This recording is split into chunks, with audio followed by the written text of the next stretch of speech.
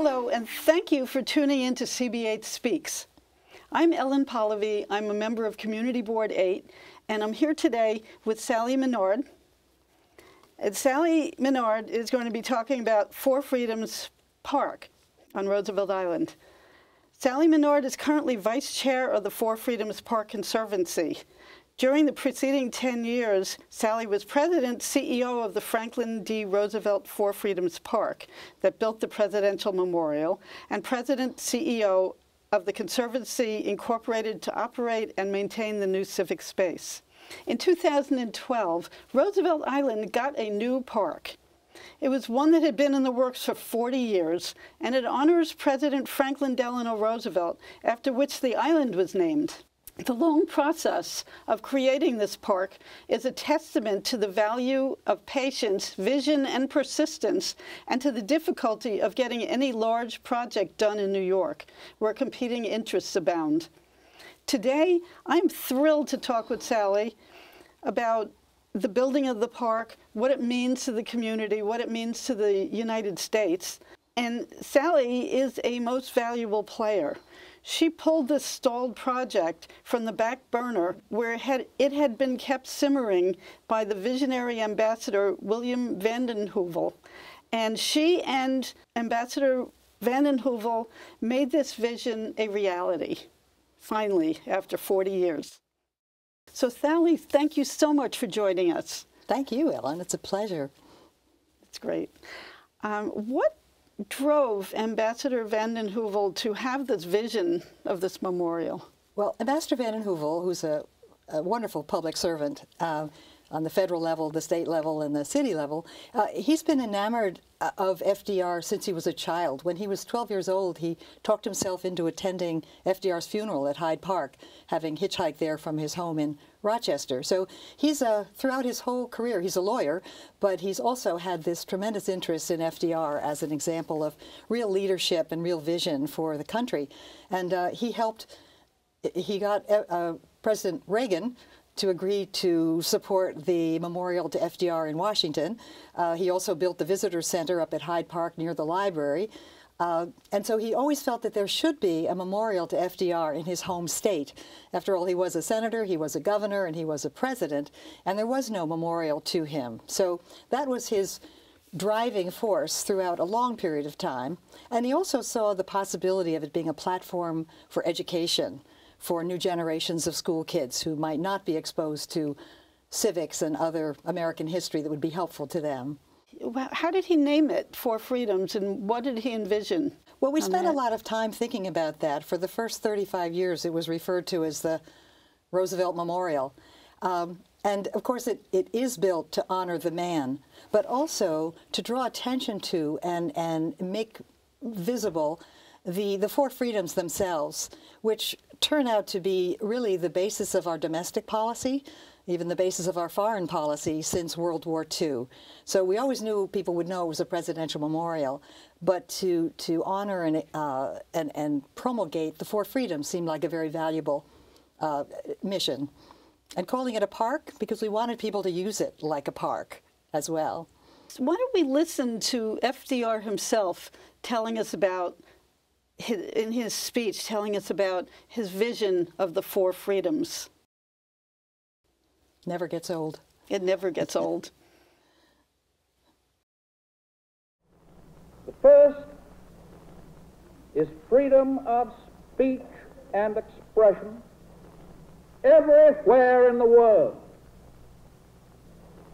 The second is freedom of every person to worship God in his own way everywhere in the world.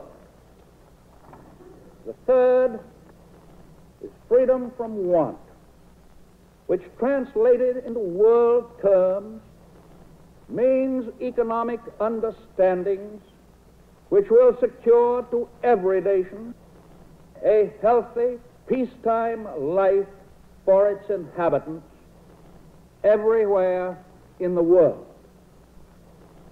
The fourth is freedom from fear which translated into world terms means a worldwide reduction of armaments to such a point and in such a thorough fashion that no nation will be in a position to commit an act of physical aggression against any neighbor anywhere in the world.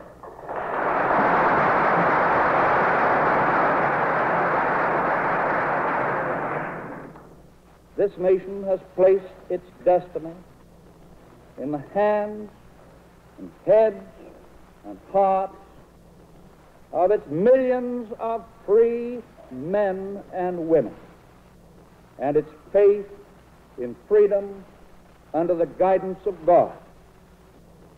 Freedom means the supremacy of human rights everywhere. Our support goes to those who struggle to gain those rights and keep them.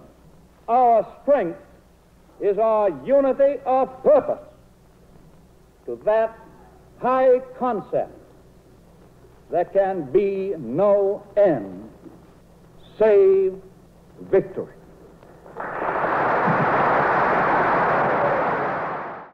I tear up when I when I think about four freedoms because it just makes so much sense and I wish we would do that today. I wish that could be our mission today. Well, in the engraving on the uh, of the speech in the room, as Kahn called it, it talks about uh, a goal that's achievable in our own time and generation. And of course, we didn't get there. But one reason to focus on the speech and the four freedoms is to encourage and motivate people to continue to commit themselves to trying to achieve them. Roosevelt did this, and it spoke it at a time when people were suffering very badly. There was depression, there was war, and those four freedoms spoke to them. Yeah, what was so exciting? It, you know, people think of it as being associated with our entry into the war, but he actually delivered that speech to Congress 11 months before Pearl Harbor. But the country was very isolationist at the time. And Roosevelt knew enough about what was going on under Nazi Germany and fascist Italy. Um, and so his speech was really to Congress, to the population, but to the world. And what he was saying is this, uh, this threat to civilization as we know it is very great. And it's probable that we'll be involved in it at some point in time. And the only thing that will justify that sacrifice that we'll be called upon to make is if we're working for a world in which everyone, everywhere in the world, enjoys those four freedoms that's something to strive for. Definitely. And I definitely hope forever. we strive for that. And we'll come back to that a little bit later in our in our discussion. I'd like to like you to tell us a little bit about the the visitors and what the park does now that it's open and it's it's such a pretty park. I know a lot of it's been it's been a bit of contention, this park, since it took 40 years, and part of that time it was an it was an empty space, and so people could make it whatever they wanted, and the Roosevelt Islanders became quite proprietary about the space. So when it became a created space, they no longer could use their imagination. People got upset about, oh, it's too formal, but it's really quite nice. And would you tell tell us how how, how people use the space, what, what goes on there? Well, you already referenced in your introduction, it's very hard to do something big and important in a little town or a big city, um, you know, without some vocal opposition. Um, but this was a project that was grandfathered uh, there was no guarantee it was going to happen. I think one of the reasons we were able to move forward is no one thought it ever would happen, having not happened for 35 years. But basically, what's created here is almost a sculpture in the landscape. Louis Kahn, who's an iconic architect of the 20th century, was chosen by Rockefeller when Rockefeller and Lindsay renamed the island for Roosevelt and dedicated these four acres. Uh, but from the very beginning, in addition to being an educational platform, obviously we wanted to make those four acres something that residents, New Yorkers and visitors from around the country, around the world would enjoy. So we have a very vibrant programming schedule each year between April and October, which is our longer day season. Um, so I mean, we have kite building and kite flying in conjunction with the UN Peace Day. We offer yoga taught by three Roosevelt Island residents. We have Imagination Playground, which is a wonderful set of gigantic blue styrofoam blocks that kids love to play with all over the lawn if they can get them away from their parents. And things like the Uni Project, which is a portable library. That we open up on a weekend, and people of all ages love it. We have musical evenings in the summertime where we teach people certain dances and then have them enjoy the music. We've really tried to develop a place that people will come to and enjoy for all kinds of reasons. I've been to many of your events there. It's a lot of fun. Um, in fact, I'm in one of your pictures. Oh, I bet you are. one of the pictures that's on the screen. Well, you're pretty central to Roosevelt Island, so that's not surprising. How many people come to the park every year? Yeah, we've had about 150,000 each year. We're approaching 650,000 total. And we, we did a, a survey of visitors and found that approximately 62% come from the United States, from 26 states, and then the other, you know, 40 come from uh, outside the United States, and so far 46 countries are represented by our visitors. So it's an economic driver for the city, which is just kind of a side benefit. It's not why we built it, but it's, it's a nice thing to be true. Um, we know that they come frequently. About a third of them come um, once a week or more. So the locals are using it to a large extent, and then it's not the kind of destination you just happen upon, which is true of a lot of wonderful sites inside the city. You have to make a conscious effort to get there. It's at the southern tip of an island that's uh, you know reachable by tram, which is part of the adventure. So we have a very satisfied user base, but we're always looking for new ideas and new ways to make it attractive to them. You know, we also celebrate uh, patriotic holidays, Fourth of July, Memorial Day. Memorial Day, we we uh, invite veterans to participate. We lay a wreath in front of the bust of uh, FDR, and it can, it's very somber and sober, and we give out little flags, and it, it's fun. Um, we also hosted the United Nations Human Rights Day in December, which makes a lot of sense too. We also hosted a naturalization ceremony, which was very poignant.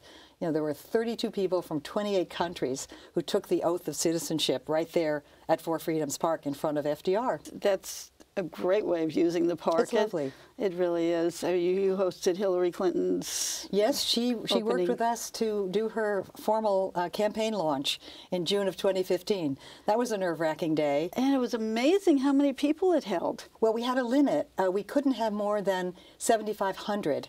The amount of the number of people you can have in a state park is determined by a formula that has to do with the uh, linear dimensions of your egress in case there had to be an evacuation.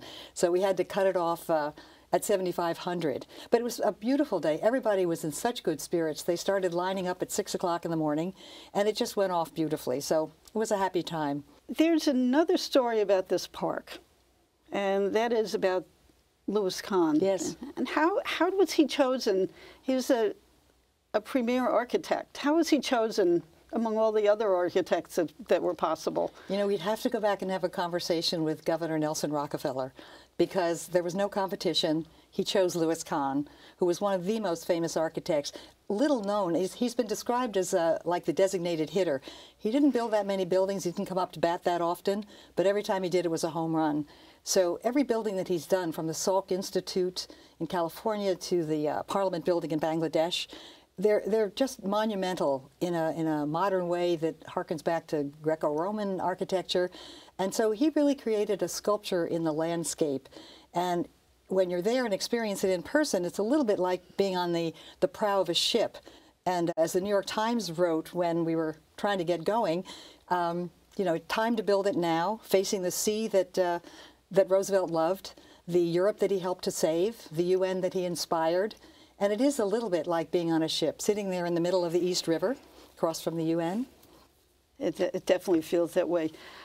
I, I know you have a lot of programming that focuses on just having fun, but how do you tell the story of FDR in your programming? Well, I'm glad you asked that. Uh, we do have guided tours by volunteers who are very well trained in the history, and uh, on weekends they're free guided tours. And then we have a very, I think, a very rich educational program. We've had thousands of school kids who come with their classes for, for field trips, and some were art workshop based, but now we have curriculum that's based on the Four Freedoms, and we use the city as the classroom because one of the uh, one of the curricula is based on freedom from want, and you can talk about public housing and you can talk about hospitals. Um, so all of the curriculum that we've developed is based on Common Core standards because teachers are pressed enough. You can't you can't get them excited to do something that they don't actually have to do or that doesn't help them meet their uh, requirements for teaching. So we have curriculum that's based for uh, second grade through 12th grade. And it's just so exciting to us to have the kids come. Our, one of our main objectives is help them understand how the four freedoms are very relevant to their lives today. So when you talk about freedom from fear, they make the connection with stop and frisk or bullying, or you talk about freedom from want, they think about the kid in their class who doesn't have money for lunch, uh, or even the homeless kids. So it's, it's been very satisfying to see how quickly the young people understand the concept and understand why it's relevant to them. Do you have any of that for the general public? Yes, absolutely. I mean, we do have the guided tours uh, free on weekends. Uh, everything's free at the park, actually, except unless you want to buy a soda. Um, but uh, we also created something that's a web-based history of the whole Roosevelt era, uh, divided into four parts, um, and we use archival footage, photos, narrative, and we've written basically a total history, and it's accessible on the internet anytime, any, anywhere. So teachers can look at it before they come to the park and begin to think about what they want their kids to take away, and vice versa. Our Find website, uh, fdr4freedomspark.org, uh, is very full of all of the information that I'm telling you right now. It has a link immediately to what we're calling the digital resource, and it's a very rich, scholarly, new treatment of Roosevelt's whole era. So from the from the simplest version to the more complicated, scholars can use it, and or second graders can go visit it as well. That's great. That we we we had a, a new uh, monument on Roosevelt Island right nearby called the Hope Memorial, which Four Freedoms played a part in, in sponsoring, uh, We did. showing showing and we thank you so much for that. That uh, that that actually moved us forward to, to almost be able to get it to get the project started. Yeah, we were thrilled, and it, It it seems to have uh, prompted an, an anonymous donor to uh, to help. We we we gave a hundred thousand at the beginning, and then we also helped uh, the committee uh, secure one hundred fifty thousand from the city, but because the city money is only available. Uh, as reimbursement, Right. they had to raise another That uh, set of funds. Yeah, That but they've was- done that it, was and a it's challenge. exciting. That we were was- more than happy to do that. You know, our only mandate way back in 10 years ago was to build exactly what Louis Kahn designed. So we understand, we understood the urge of the disability community on Roosevelt Island, which is so big and so important, to have a depiction of Roosevelt and his disability. And so that's why we were very happy to support the creation of a sculpture that's hopefully well underway at this So point. we hope to have it be finished by the spring. Oh, Excellent. It's that's just great. Right. It's And you pass it on the way to Four Freedoms Park, and we're just delighted. that will be a picture of FDR in his wheelchair. hmm Reaching out to a young girl on crutches. It's a That's lovely right. statue. That's right. It's very beautiful, and and that I feel actually rounded out the story, The story. of FDR. So there'll be two places where people could find stories about Yes. him, and I'm I'm hoping that his story will will really be be shown more often these days because we need it. We desperately need that story very, to very, be told. very very relevant. And that, that's Yes. why our education is really uh, aimed at trying to create uh, more motivated and better informed citizens. I mean, when we talk to the students about the legacy of FDR and the commitment to social in, social justice and uh, civic engagement, that's the objective: is to help them all understand the value of this democracy and their part in it. I'd like to spend some time talking about the the effort that you that that went on to get this to happen. You know, I know I know the construction the, the construction took a bit of time and was very precise. And Gina Pollara had the uh, the uh, the architect who was the She was the said she executive, was director, executive director of the LLC that we formed to actually build the park. and she was all over the place, just like you were. She was all over the place, networking with the community, getting Mm-hmm. people to to buy into the concept of it, and out there in the community, on the board of the Hope Memorial, where you know helping us helped a lot. choose, Yes. helping us choose a a, a, The sculptor, a sculptor herself. Mhm. and. She really helped a lot, and to hear her describe the precision of of of the of the materials and the in the creation of it and the, the the building of it and how every angle had to be exact and and Louis Kahn's design had to be very precise in in in angular. Um, it was it was really interesting. And then she talked about the the room, Mm-hmm. the room, and I've experienced it. There's the you walk down a, a long path, and there's a uh, with a green a green grassy slope with granite on either side, Mm-hmm. and then you get to the bust of FDR, which is just like a little head. Just a little head a floating there, Three and a floating there in a little box, and then behind the head is a is the room, is the room, and Roosevelt Islanders used to experience what used to be there is this wide open space where you could see everywhere all at once. You just turn around and you could see the whole 360 degree view. Now the view is boxed in, even though it's supposed to be a meditative room, it's boxed in. And some visitor described it to me as you walk into it's the metaphor for what was going on at the time when Roosevelt had, his Four Freedoms speech. You know, there was the Great Depression. People were feeling boxed in. They were depressed. There was it was misery. You're in this box, and then there's hope at the end because the view opens up and there's the UN, and it gives me chills just thinking about it. The, you know, you walk into this depressed place. You meditate in this in this enclosed environment um, which is open to the sky, I'll grant you that, but it is pretty enclosed and you cannot see 360 degrees anymore. But you can see out and you can see hope and you can see the UN, and it's quite remarkable. I think it's a brilliant reveal, actually. I mean, if you've sauntered down one of the alleys under the 120 little leaf linden trees with a complete view of Manhattan and Queens on the other side, and then you get to the bust, which is kind of the focal point of the uh, of the memorial, and then you get into the room, and I don't think Kahn thought of it as a box. Uh, he called it a room because his whole concept was a garden and a room. So the lawn and the alleys of trees are the garden part, and then the room is actually a 60-foot square open-air plaza. And then there's this giant reveal. He thought of it as a place for reflection.